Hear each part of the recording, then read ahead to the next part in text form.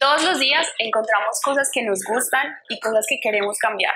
Las primeras obviamente nos dan alegría y las segundas alimentan nuestro deseo profundo por querer cambiar el mundo. Requiere de riesgos, de enfrentar el miedo al fracaso, de nadar en contra de la corriente y de creer en lo imposible.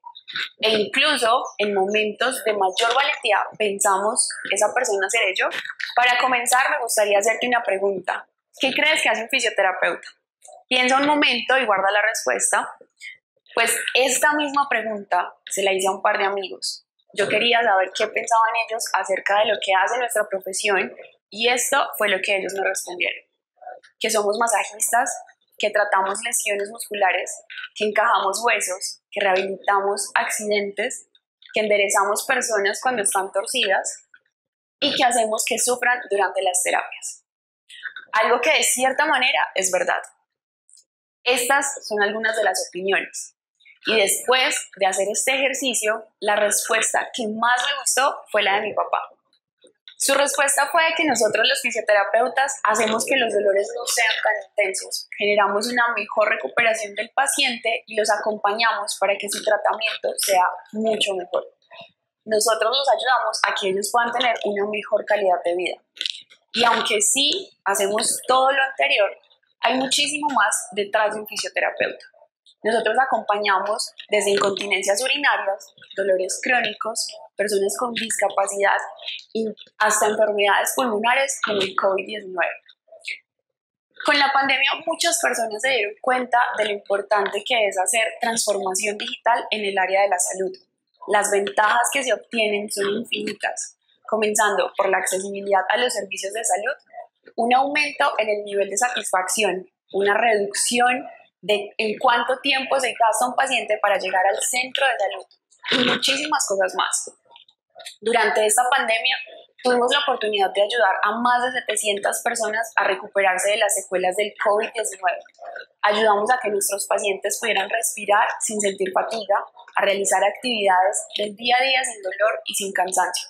Les brindamos acompañamientos y durante su proceso de recuperación los educamos y les enseñamos algunos ejercicios para hacer en casa.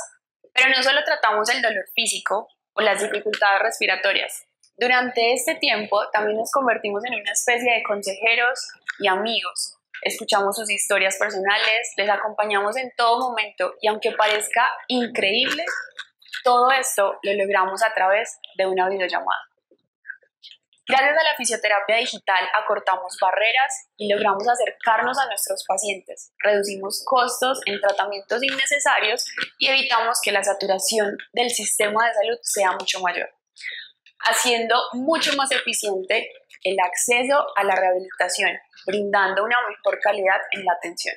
Y es aquí donde quiero contarte un poco acerca de mi historia. Yo soy fisioterapeuta y por mucho tiempo viví frustrada con un sistema donde creemos que la salud es un privilegio y no un derecho.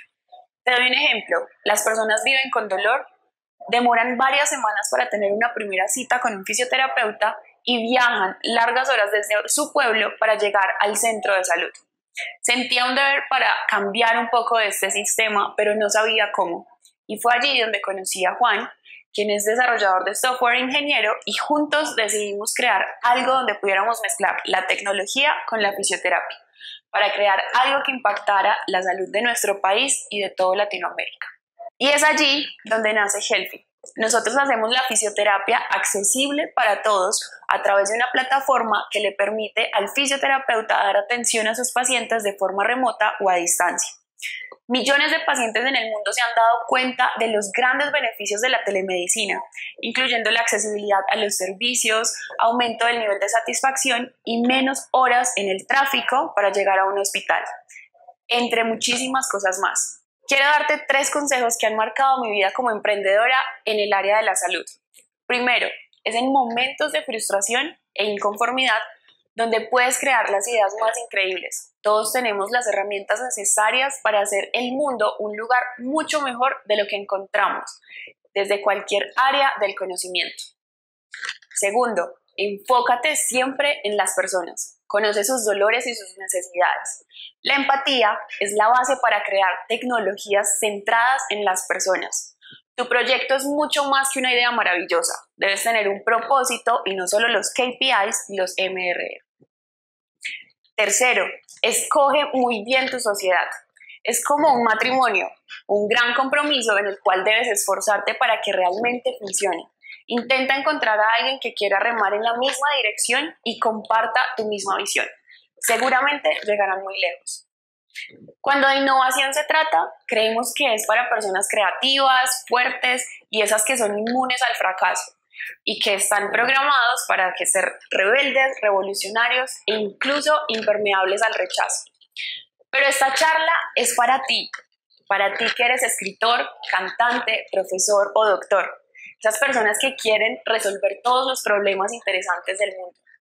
Para personas que están en el camino de convertirse en fisioterapeutas, médicos, pintores o líderes, personas como nosotros. No importa el camino que quieras tomar, intenta buscar eso que te apasiona y no te conformes con hacer las cosas como siempre te han enseñado. Cuestiona todo lo que vas a aprender. Hay muchos procesos que están mandados a recoger y tu tarea es encontrar ideas para mejorarlos y hacerlos mucho más eficientes. Hoy en día no necesitas títulos, másters, certificados o un super traje elegante. No solamente se vive de pasión, sino que se vive de esfuerzo y de ganas, de riesgos de tomar decisiones que signifiquen todo o nada. Y sobre todo, la decisión de creer en eso que tienes en tu corazón y no te rindas a pesar de las dificultades. En un mundo donde todo parece complicado, debemos inspirar a hacer las cosas diferentes, más sencillas, más simples y mucho más accesibles a las personas. Y volviendo a la pregunta del inicio, si esa persona podría ser yo, la respuesta es sí. Tú y yo podemos hacer que el mundo sea un lugar mucho mejor de lo que lo hemos encontrado.